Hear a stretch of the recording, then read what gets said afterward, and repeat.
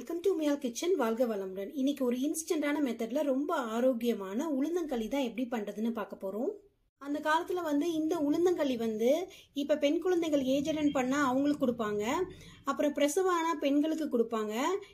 ஆனால் அவங்களுக்கு மட்டும் இல்லை எல்லாருக்குமே இது ரொம்ப ஆரோக்கியமானது. அந்த ஆரோக்கியமான உளுந்தங்களியை நம்ம ஈஸியாக எப்படி பண்ணுறதுன்னு தான் பார்க்க போகிறோம் இந்த உளுந்தங்களி வாரத்துக்கு ஒரு தடவை செஞ்சு கொடுத்தா ரொம்ப ஆரோக்கியமாக இருக்கும். அதே நேரத்தில் ஈஸியாகவும் பண்ணிடலாம். வாங்க இது எப்படி பண்ணுறதுன்னு பார்ப்போம். இப்போ ஒரு பேனில் ஒரு கப்பு கருப்பு உளுந்து சேர்த்துக்கலாம்.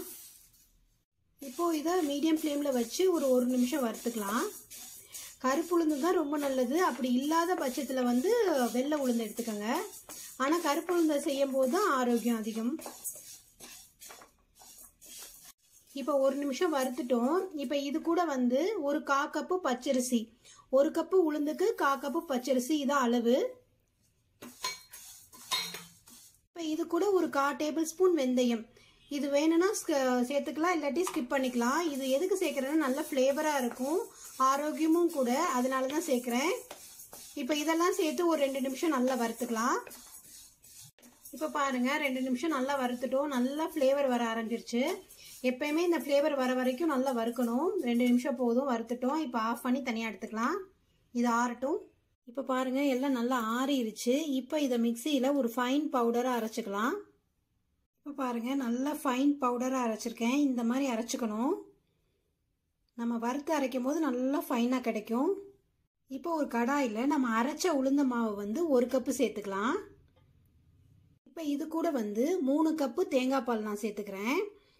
ஒரு கப்புக்கு மூணு கப்பு தேங்காய் பால் அதுதான் அளவு. இப்போ உங்களுக்கு தேங்காய் பால் விருப்பம் இல்லாட்டி தண்ணி சேர்த்துக்கலாம். தேங்காய் பால் சேர்க்கும் போது நல்லா ருசியாக இருக்கும். ஒரு கப்பு தேங்காய் பால் ரெண்டு கப்பு தண்ணி அப்படி கூட சேர்த்துக்கலாம். உங்கள் விருப்பம்தான். ஆனால் ஒரு கப்பு உளுந்த மாவுக்கு மூணு கப்பு தண்ணி அல்லது தேங்காய் பால் இல்லை மிக்ஸ் பண்ணி இது பாதி அது பாதி கூட சேர்த்துக்கலாம்.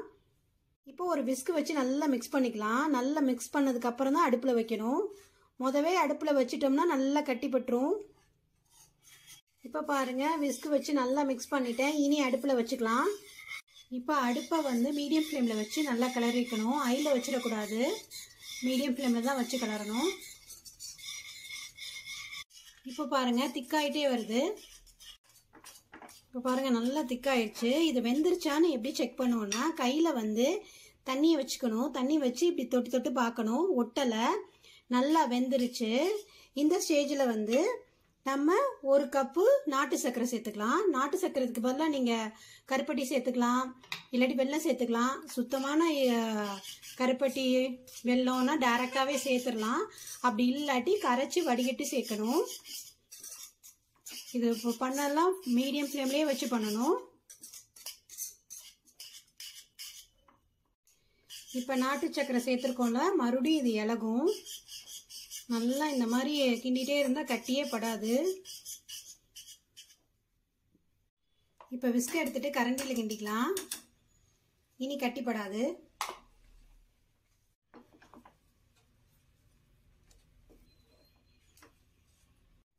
இப்போ இது கூட ஒரு மூணு டேபிள் ஸ்பூன் நல்லெண்ணெய் சேர்த்துக்கலாம்.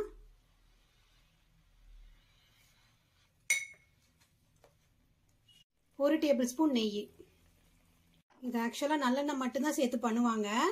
நான் வந்து க நெய் சேர்த்து நல்லா ஃப்ளேவராகவும் இருக்கும் நல்லா டேஸ்ட்டாகவும் இருந்துச்சு. அதனால ஒரு டேபிள் ஸ்பூன் நெய் சேர்த்துருக்கேன். இப்படி நல்லெண்ணெய் சேர்த்து பண்ணும்போது ரொம்ப டேஸ்ட்டாகவும் இருக்கும் உடம்புக்கு ரொம்ப நல்லது நல்லெண்ணெய். களியோடு சேர்த்து சாப்பிடும்போது. இப்போ பாருங்கள் இந்த எண்ணெய் நெய்யெல்லாம் நல்லா உறிஞ்சிரும் இன்னும் கொஞ்சம் நேரத்தில். மீடியம் ஃப்ளேம்லேயே வச்சு கிண்டிட்டு இருக்கணும். இப்போ பாருங்க எண்ணெய் நெய்யெல்லாம் நல்லா உறிஞ்சிருச்சு. இன்னும் ஒரு ரெண்டு நிமிஷம் நல்லா கிண்டினா எண்ணெயெல்லாம் நல்லா வெளியே விட்டுக்கிட்டு வரும். இப்போ பாருங்க இழுத்த எண்ணெயெல்லாம் மறுபடியும் வெளியே விட்டுட்டு வருது. அப்போ நம்மளோட களி ரெடி ஆயிடுச்சு. இப்போ ஆஃப் பண்ணிக்கலாம். இப்போ பாருங்க இப்போ கரண்டியில் எடுத்தோம்னா தன்னால் இப்படி கீழே விழுகணும். இதுதான் பதம். நல்லா வெந்துருச்சு. நம்ம களி ரெடி ஆயிடுச்சு. இப்போ நம்ம ஆரோக்கியமான களி ரெடி ஆயிடுச்சு. இது தேங்காய் பால் சேர்த்து செஞ்சுருக்கனால ரொம்ப டேஸ்ட்டாக இருக்கும். அதனால குழந்தைங்கள்லேருந்து பெரியவங்க வரைக்கும் எல்லாரும் விருப்பமாக சாப்பிடுவாங்க. இது பெண்களுக்கு மட்டும் இல்லை அனைவருக்குமே இது வந்து ரொம்ப ஆரோக்கியமானது. எலும்புகளை நல்லா ஸ்ட்ராங் ஆக்கி கொடுக்கும். அடிக்கடி இது செய்யுங்க. வாரம் ஒரு முறையாவது இது செய்யுங்க. இதே அளவுகளோடு செஞ்சு ட்ரை பண்ணி பாருங்கள் நாளைக்கு வேறு இன்ட்ரெஸ்டிங் ரெசிபிஸோடு சந்திக்கிறேன். வாழ்க வளமுடன்.